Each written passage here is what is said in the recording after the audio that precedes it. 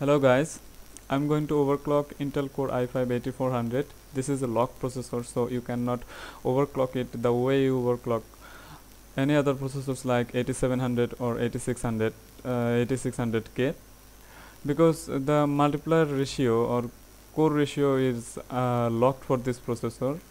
The way I'm going to overclock this processor is a method called BCLK overclocking the board I am using for this overclocking is uh, Gigabyte Z370 HD3 the procedure for overclocking on other motherboards like uh, Asus or ASRock should be same. Okay before overclocking I'm going to show you that it's actually running at 3.9 gigahertz when all the six cores are being used. For this test I'm going to use um, CPU-Z stress test. I'm going to stress the CPU as you can see all the CPU, all the cores are being used 100% and uh, CPU frequency is 3.9 gigahertz. It's also showing in AIDA64 that it's uh, 3.9 gigahertz. For overclocking first boot up into the BIOS the BIOS screen should look like this uh, for gigabyte BIOS then go to advanced option or classic options uh, from classic options, uh, first go to save and exit and load optimized default settings. Then come back to MIT tab and go to advanced frequency setting, advanced frequency setting. Then go to mm, CPU base clock or or host clock. Initially it is set to 100 megahertz. Uh, this is also called BCL LK clock you have to change it higher than 100 but you cannot set it to like 200 or something like that.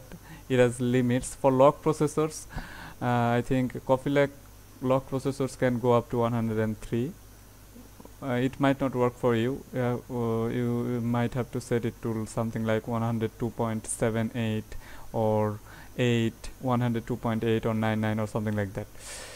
Uh, change it this is the basic part of the overclocking. Then change the enhance multi-core performance option to enabled. Then change the CPU core ratio to 40 this is uh, as high as you can go since this is a lock processor. Then go to advanced CPU core setting. Uh, turn off the turbo boost. Uh, for my case it helps me you can leave it on if you want. And this is the important part.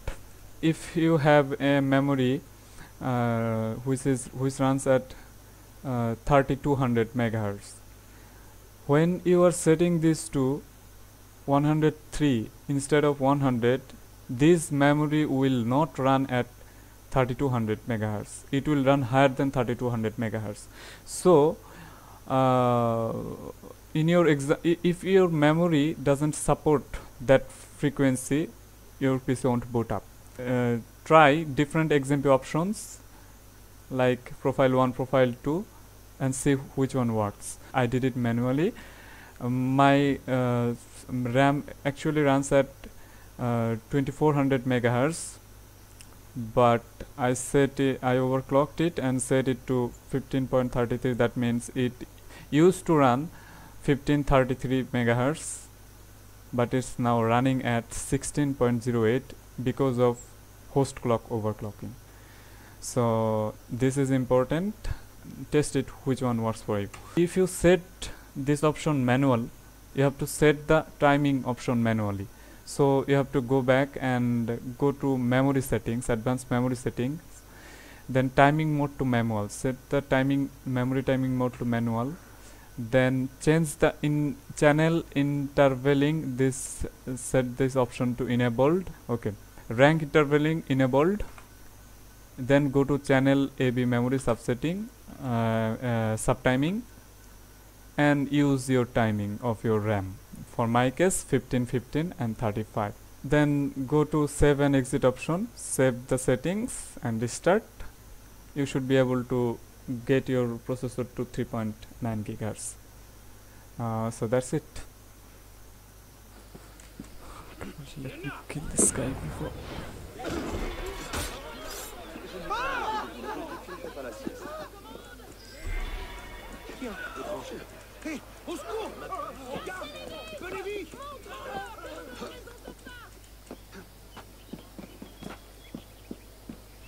okay as you can see it's running at 3.9 gigahertz uh, on Assassin's Creed Unity.